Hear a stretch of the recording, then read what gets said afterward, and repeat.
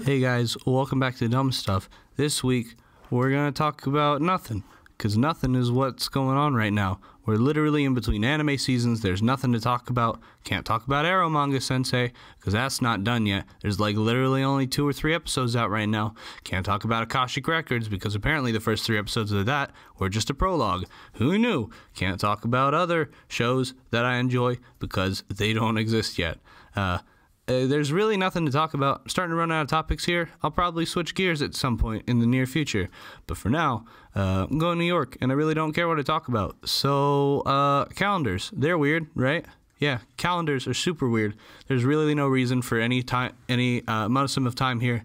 Uh, time is just an illusion made up by humans. And have a good day. Uh, see you later on next time's dumb stuff. Bye.